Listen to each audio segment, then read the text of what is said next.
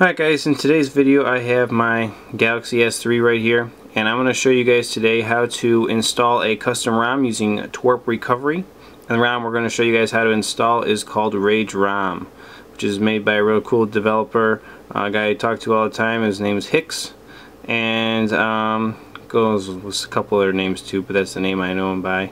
Um, so uh, let's go ahead and get into this. Let me go ahead and show you guys a little bit of some prerequisites for this thing. Um, you are going to uh, want to be let's see here I, I would say you should probably be on this Android version on your Galaxy S3 um, which is 4.1.2 this is the Verizon version obviously right here which is the SCH-I535 you are going to want to have root permission with SuperSU or Super User right there, SuperSU right there. And obviously have a custom recovery installed like TWRP Recovery and an unlocked bootloader as well. If you guys don't have these prerequisites, I have videos on all of, all of that stuff on how to do it. So please check out me out right here. You can see some of that stuff videos at RootJunky right here above my thumb. Or you can just check me out on my YouTube channel. It's listed on both. So so now we've got those two things, the last thing you're going to want to do is uh, make sure that the ROM is on your SD card. So I'm going to show you where this one's at for me. It's on my external SD under ROMs. Right there it is, Touch Rage is what this is. Touch Rage ROM for the Galaxy S3. So that's where it is, I know where it's at. So we need to get into custom recovery, TWRP recovery. Um, I like to use an application called, uh, right here, Goo Manager. And you can use it to install recovery um, if you have a rooted, rooted device that's unlocked. Or you can just tell it to reboot into recovery right there. But just so you guys know how to do this, in case you haven't seen it before, I'm going to show you guys how to get into recovery in case you mess something up or um, you brick your device for some reason. You should be able to always get into recovery this way. So I'm going to show you guys that. So what you're going to do is say your device is powered off shut down or it's not working, you can pull the battery and get to a powered off state, however you need to do it, uh, in case you're boot looping or something like that. Um, and then what you're going to actually do is you're going to hold your home button on here at the bottom, you're going to hold your volume up button on the side, and your power button. So hold these two first, see if I can do this without pushing things over, and then hold your power button, and it should flash and once it flashes here let go of your power button and keep holding the other two the home and the volume up. And keep holding them and you should boot into recovery. And it if you have stock recovery installed it'll boot into stock recovery. You can let go of them now. If you have TWRP recovery like I do it'll boot into TWRP recovery. So if you ever mess something up you can always get into recovery again once you have recovery installed and fix it. First thing you want to do two things. Right here, make sure you have good battery life. I have 82%. That should be plenty for this. I really wouldn't go any lower than that. Um, and then the next thing you're going to want to do is go ahead and make a Nandroid backup, which is this button right here. And the reason you do that is if the install fails, something goes bad in it, you can always restore that and you'll be back to where you were before you tried to flash the ROM. So we're going to go ahead and do that. We're going to back up all of my stuff right there.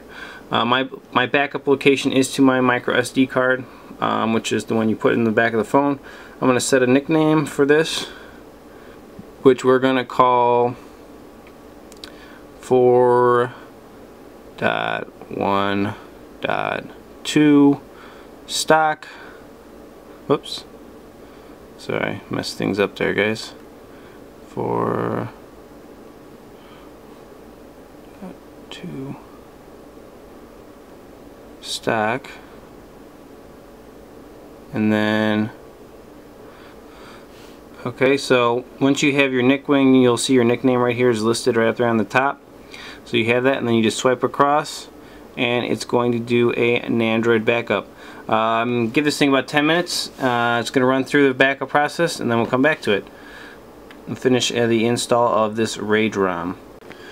Alright here so our backup is now complete and we can unlock TWRP. It actually locks there for you. And you can just reboot system here um, if you just wanted to make a backup. But we want to flash around, so we're going to back out there with the back button there. Um, and just so you guys know, this is going to be pretty much standard for almost every ROM you flash. This is going to be your process, so this is just pretty much a generic of flashing ROMs. Unless the forum you download the, the ROM from says to do something differently, this is what you're going to be doing. Um, so you made your Nandroid backup. We're going to go ahead and hit wipes. And in TWRP Recovery, all you got to do is swipe it one time, and it wipes everything that needs to be wiped. Your cache, your Dalvik, and your data some maybe even your system I don't remember what it has all totally for the wipes but that's all you got to do and then um, we can go back and go to installs.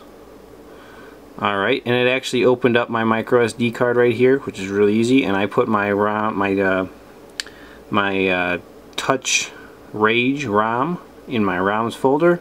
And there it is touch rage version 1.4 zip.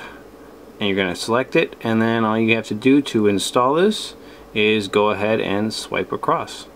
Um, this actually does include everything because it's based on the OTA update basically or the OTA version of Jelly Bean 4.1.2 so you don't have to in flash Google applications like you would on maybe CM or AOSP or something like that.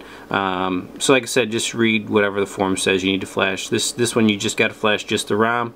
So when this thing goes ahead and finishes the install here um, basically all we're gonna do is reboot and we'll check out this uh, we'll check out this ROM so just give this time probably take about five minutes and we'll get back to it Okay, well that was really quick. That was about uh, two minutes probably to uh, install this. So again, you can see TWRP Recovery kind of locked itself.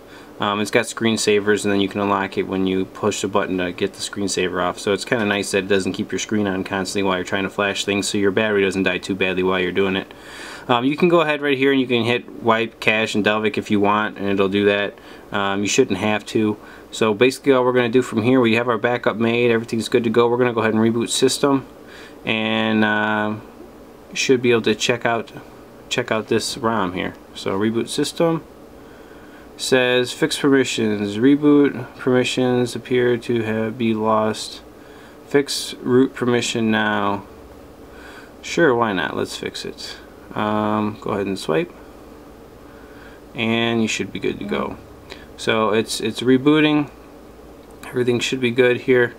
Let's uh, let this thing boot up see if he's got a different boot animation on it um, most devs like to put their own little touch on it but it looks like okay so it is a little different. Before it had that uh, 4G LTE on it uh, on boot up. Uh, this is just a Samsung no uh, audio on it.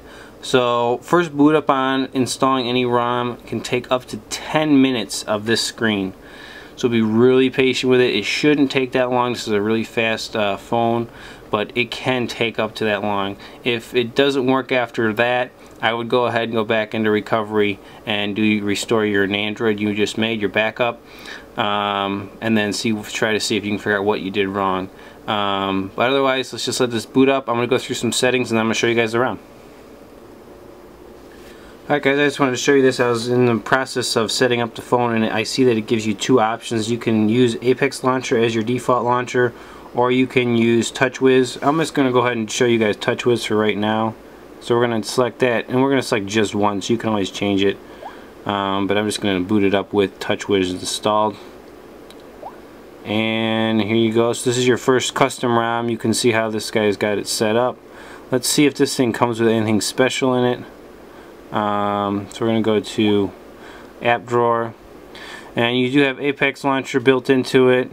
Uh, DSP Manager is also built into it which is very nice. Uh, let's see what else we got in here. Um, there's SuperSU right there. Let's see what else it comes with. Anything else that's different. Now it looks like those are your main two things. The basic thing with um, this ROM is because it is based on stock uh, Galaxy S3 um, is that what you're going to see that's really different about it is its performance more than anything else. Uh, your look obviously is the same. Most of your applications are going to be pretty much exactly the same. Um, but you do have root and you're going to see performance tweaks on it is, is the main the main thing. Let's see what we got here. So here you go. Here's some settings. This is where some of the, I guess you might mean by performance controls. So you got ROM controls right here and all kinds of little cool customizations. So you can do like status bar colors, um, clock style. So let's go ahead and do center clock and uh, your clock's in the center up there on top. Um, so this is really the main difference besides it being, it looks just like stock, um, but you can change some things up. So here we got battery icons. Let's go um, blue glass. Let's see what that is. Oh, that's all right. Um, you can you can change some colors. Choose battery icons. What else is be good in here? CM. There you go. You can go like that. I mean, you you can change all. It's the customization. All of this stuff right through here, all these ROM controls, is what makes this this um, this ROM really fun. Uh, the rest of these settings are pretty much standard. It looks like. Yeah, pretty standard. Let's just go ahead and check out, make sure, yeah. So you are running, like I said, it's the Verizon version of the Galaxy S3, 4.1.2, and it's pretty much stock with added ROM controls is is your biggest thing. And all these fun little customizations and easy things that you guys can change on here um, to really customize the look and feel of this thing um, very very simply. So that's probably the best thing I would say probably about this uh, about this device um, in this ROM I should say. So there you go guys, that is how to install a ROM um, using TWRP Recovery on the Galaxy S3, ROM being uh, Touch Rage, which is Rage ROM. And uh, there you go, that's my walkthrough on it, that's how to do it. Should be standard like the same principle and concepts for any ROM you guys install. I'm going to go ahead and put uh, Touch Rage ROM link in the video description down below. Hope you guys liked this, hope it was helpful for you. Um, as always, please check me out right up here at rootjunky.com. You can follow me at Facebook or Twitter over there. And we'll catch you guys next time. Thanks for watching.